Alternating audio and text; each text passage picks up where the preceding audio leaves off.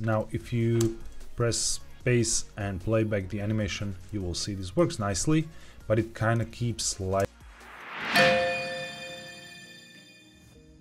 Hey everyone, welcome to my new tutorial. Today we are going to create this very stylized living room icon, you know, something that could be used in apps or websites. And I really hope you will enjoy this one. And if you do, please don't forget to leave that like. And if you're new around here and you want to learn in the fastest way, be sure to check out my courses. I carefully designed them to take you from beginner skills through low-poly illustration all the way to full character illustration and textured environments. So if you're interested, please check out the link in the description. Now let's jump right into empty blender file and first of all let's delete the cube and the light. So drag a selection, press X and choose delete. We'll leave the camera in place and now let's press shift A and we'll start mesh and plane. Now tap into the edit mode and let's scale this up. So I'll press S and then 4 to scale this 4 times up. And now let's press Ctrl R and create few loop cuts. Um, let's increase the number of cuts with the mouse wheel to something like 4. I think that should be enough for very small scale stylized illustration. And now let's press 2 for edge select or you can choose it right here. And now let's select this edge, hold shift and select these other ones. And we'll press V to kind of rip this apart, but then click right mouse button to leave it in place. And now press A to select all and extrude towards the bottom, just like that. And now let's make it more chunky. So I'll press G then Z and move it down a little bit. And now just to be safe, press A and Shift N to recalculate the normals. And now if you go modifiers and let's add modifier and let's go generate and bevel and we'll increase the segments to two and you can see how these are separated because we you know ripped those faces apart and now let's play with the amount a little bit we can make it look more chunky so we could do with more segments as well. And now we can tab out. Let's go to shading. Let's enable harden normals and right click and shade auto smooth and now in shade smooth we'll increase this to 180 degrees. So this will serve as our very stylized floor. And now tap into the edit mode. Press 3 for face select or you can choose it right here again and now select some of these faces and press G then X and move them around.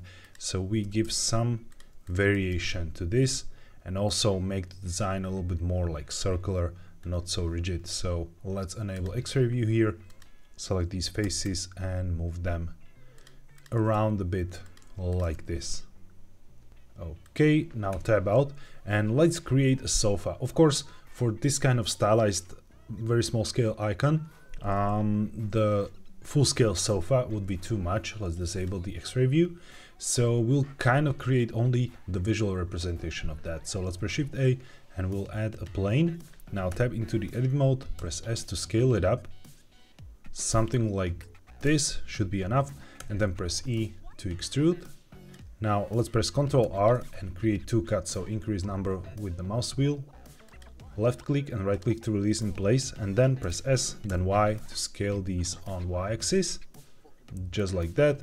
And now let's press Ctrl R and create one loop cut here in the back just like that.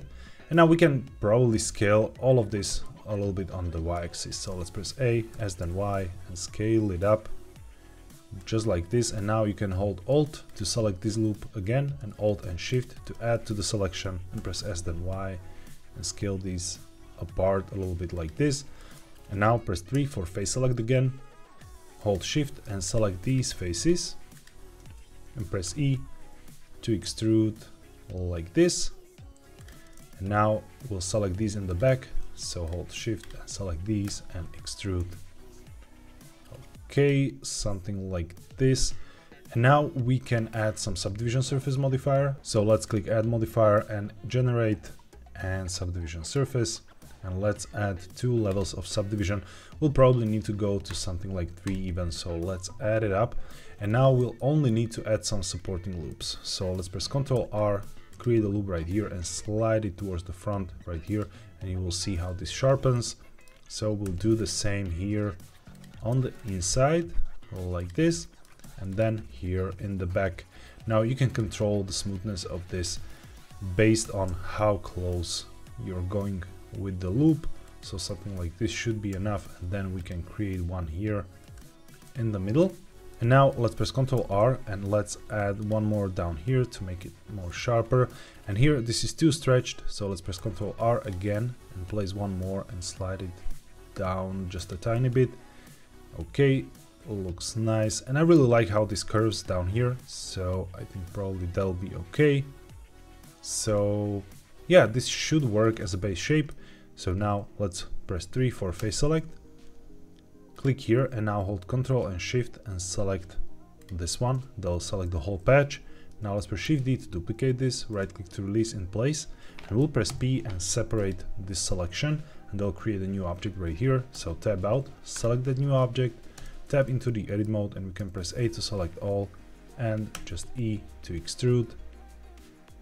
And we'll create this very stylized cushion like that. And now let's click here, hold control, click to the other side, press G then X and push it outside a little bit.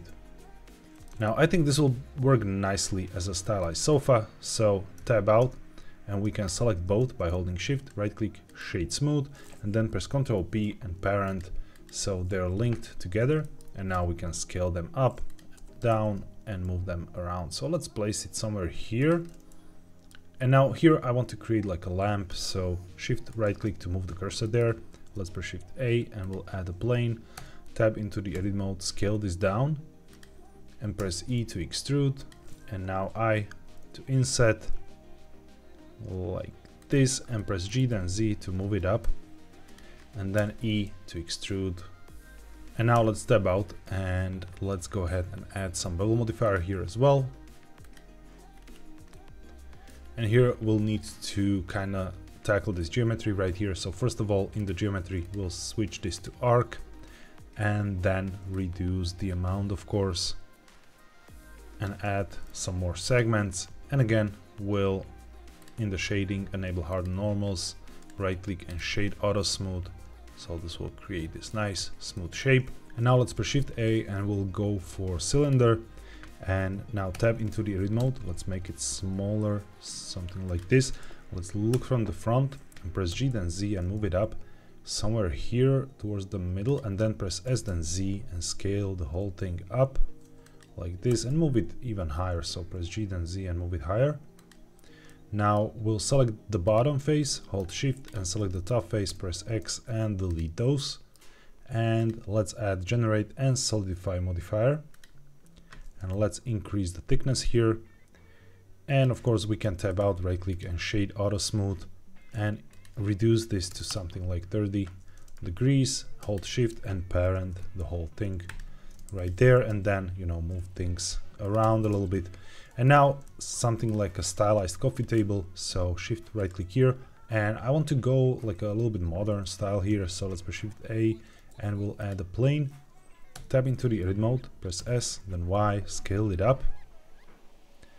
And now, so we don't have to do like a bunch of cleanup later, let's go press 2 for edge select, select this edge on the side, hold shift, select the other one, press E then Z and extrude it up like this, and then just press F to fill. And now hold Ctrl and Alt and click on this edge. That will select these perpendicular edges all around your shape. And press Ctrl B to bevel.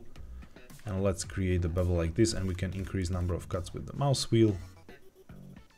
So something like this should be nice. Now press a to select all and alt e and extrude faces along normals and let's go inside.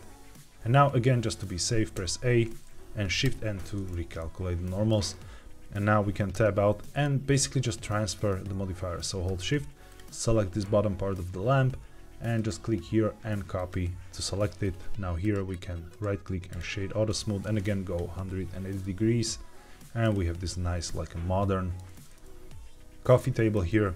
And now to add a little bit more detail, it will be nice to add like a blanket. So shift right click here and we'll press shift A and add a plane. Tab into the edit mode, press S to scale it up. And now right click, subdivide, and let's press shift R several times to repeat that operation to create really like detailed subdivided plane like this. And now press E to extrude it once really thin like this. Press G then X to move it so it doesn't overlap here and place it a little bit higher. Now we can rotate this a little bit and place it somewhere here. And now we'll use the cloth simulation. So go to the simulation tab here, physics, and let's enable cloth.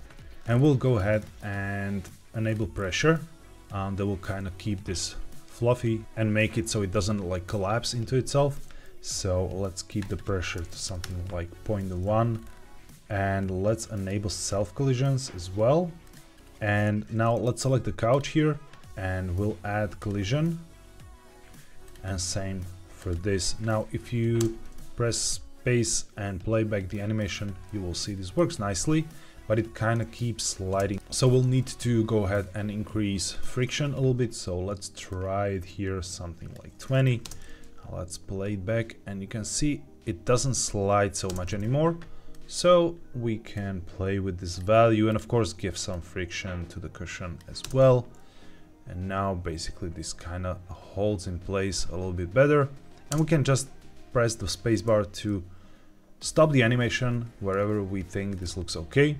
And now just select the cloth and we'll go into the modifiers tab and apply. And you can apply as a shape key if you want to go back, you know, later um, and maybe make different simulations. So let's apply a shape key and now you of course need to go to the data and switch and increase that cloth shape key to 1 and basically now in the modifiers you can add subdivision surface to make this nice and smooth.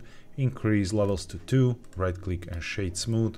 And now you have a nice blanket here kind of just resting on the sofa there.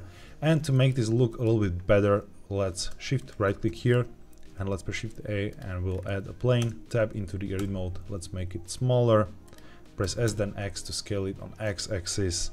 And now let's press Ctrl B and then V to kind of enable vertex bevel.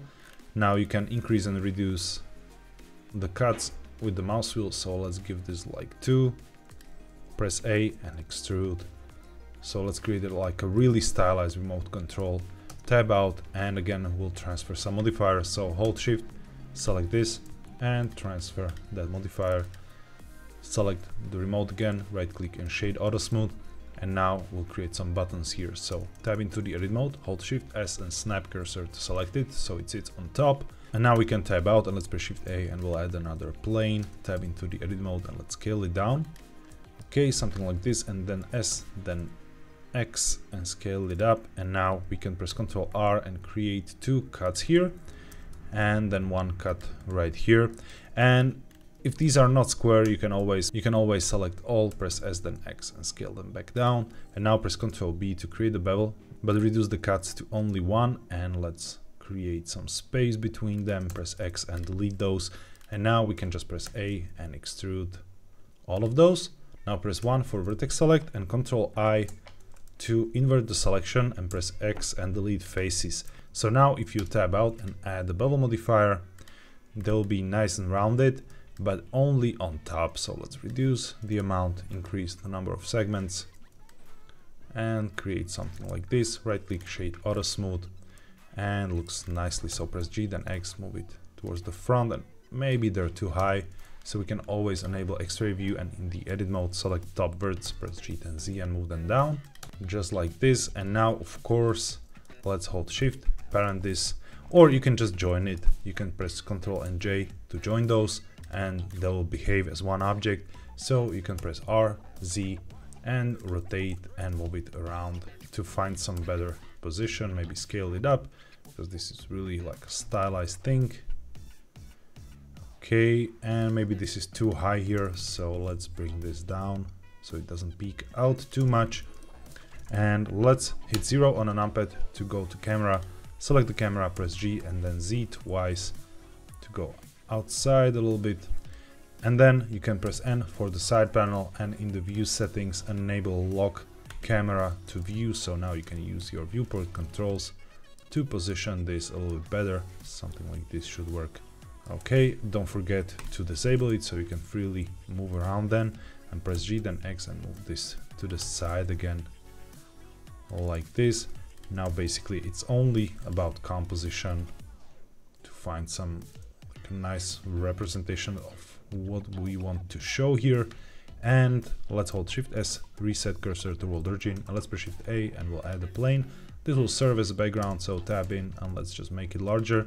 Now let's look from the front, tab out and press G then Z and move it down to place it under the floor here. Now let's hit zero again. And in the output tab, I will reduce the resolution to something like 1600 to 1200. And now we can bring it a little bit closer like this.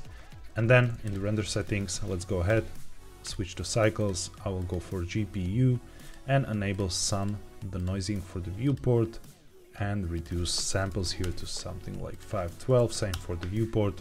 Press Ctrl B to limit the preview only to camera bounce, hold Z and preview rendered. So this is what we have here. Of course, only a little bit of ambient occlusion, not much light. So let's press Shift A and we'll go ahead and create area light. Press G then Z and move it up. Let's make it larger, maybe quite large. I want nice and soft shadows. And in the light settings, let's increase power to something like 250, maybe even more, maybe like 500 and let's play with the position so it can be like closer a little bit and maybe let's go for 1k here and we can bring this higher up. And then you can of course play with the position like this to find some better shadows. All in all this should work nicely for very stylized look. Now let's select the wooden floor and let's create some material here. So I will just grab this to create a new window. And let's switch to shader editor. Let's press N to hide the side panel. And now we can create a new material here let's call this wood. And now here we can create like a procedural wave texture. So let's press shift A go texture and create wave texture. Now to preview this easiest way to use is node wrangler. So go edit preferences add-ons search for node and enable node wrangler right here. Just check the box. And now if you hold Control and shift and select the texture it will plug right to your surface preview so you will see what your texture does real time in the viewport so now let's increase a little bit of the distortion and detail scale just a tiny bit like this and we can of course play with the scale and of course I want to rotate this a little bit. So let's go ahead and press Ctrl T while this is selected. This is another Node Wrangler shortcut. And now we can just rotate this, uh, but we need to find the right axis. So it's Z, of course. Now let's press Shift A and we'll go converter and color ramp and plug it right here. Now let's bring the blacks towards the front and whites as well. So we have this nice, really sharp gradient there, or you can go other way around, whatever suits you. And now when this is done, let's move it to the side and let's press Shift A and we'll go color. And let's choose mix color and plug it right here, but make sure it's plugged into the factor. And now we can just select some wooden color like this. Or let's do that for the underlying color. I think that'll be better okay maybe a little bit desaturated. And now I'll press ctrl C hovering over this ctrl V to plug it here and here just make it a little bit brighter just like that. And now let's just hold ctrl and shift and select the principled so we are back into the original connection and just plug the color right here. So we have nice procedural cartoonish texture there. Now let's select the lamp here and create a metal texture so let's call this metal. And basically we'll just increase the metallic value and play with the color. So it can be like bronze color or something like this. And I think I'm done with the procedural texture so let's just collapse this. And let's play with this. Now let's select the shade create a new material here. And I want to go with transmission there and increase the roughness and now let's hold shift S snap cursor to selected. Let's press shift A and we'll add a light and press G then Z and move it up. Um, but make sure it's not inside um, the middle part right there because it will be obscured. So move it to the side a little bit. And now you can see the dot there. And so you can increase the power to something stronger and of course color the light and it will create a nice effect. And of course you can press G then Z move it up and down and you can also press Alt D then Z to create the additional one. And now since you used Alt and D um, these are linked so whatever you do to one um, it will affect the other as well. So let's create something like this here like that. And now again I will just copy and increase the brightness here okay I really like this and now some nice accent color for the sofa. So that will be like bright orange for example. Or you know whatever you like basically.